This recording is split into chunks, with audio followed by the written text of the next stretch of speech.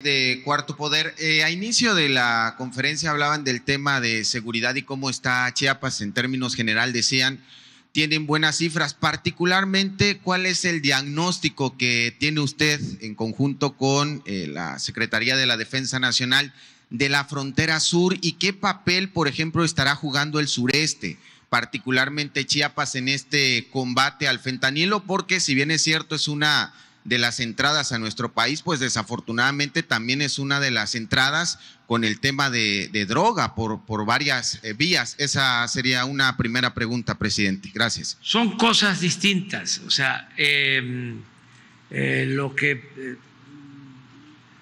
tenemos que cuidar en la frontera sur es lo relacionado con la migración y cuidar significa cuidar a los migrantes, que este, no atraviesen nuestro país, que no corran los riesgos.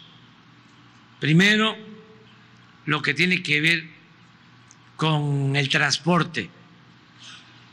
Y yo le pido a la gente de Chiapas que nos ayuden mucho informando cuando eh, se enteren de que eh, van a transportar a migrantes en trailers, porque hay muchos accidentes y se pierde la vida de migrantes y nos duele mucho eso porque hay traficantes de personas, polleros, transportistas que hacen su agosto eh, y no les importa la seguridad de los migrantes.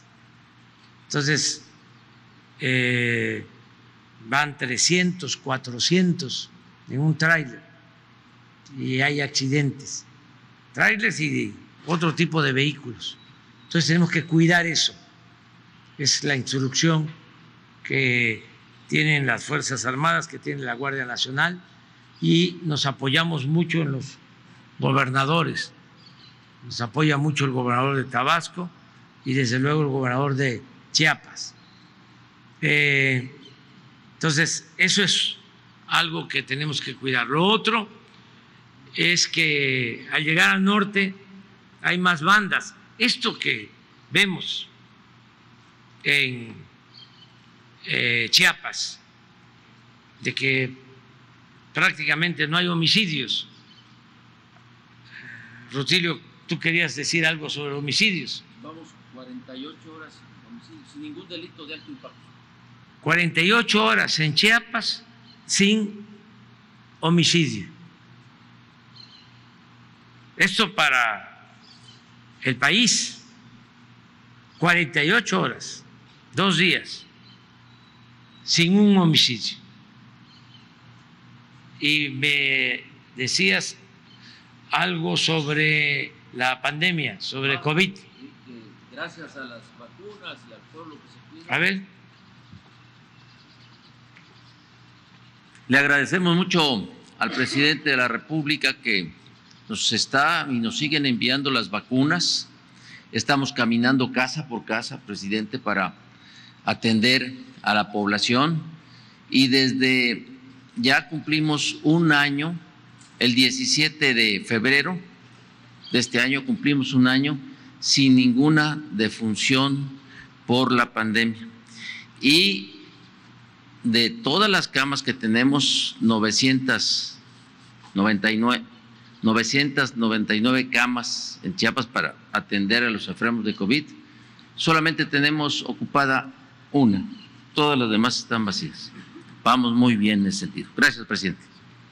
Pero yo eh, lo que quiero este, eh, informar es a la gente de que acá en el sureste y prácticamente es lo mismo Tabasco y también Oaxaca y Campeche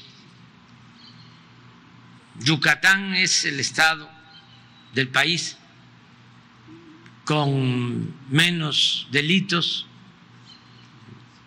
Quintana Roo también, a pesar del turismo, no hay tanto eh, descontrol de violencia.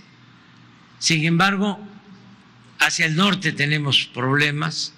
Entonces, el que los migrantes eh, atraviesen el territorio, ya en el norte corren riesgos eh, y tenemos que cuidarlos.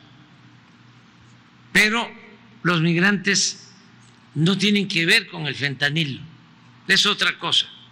migrante eh, sale por necesidad y abandona a su familia para buscarse la vida. No lo hacen por gusto, lo hacen por necesidad. Van a, buscar trabajo.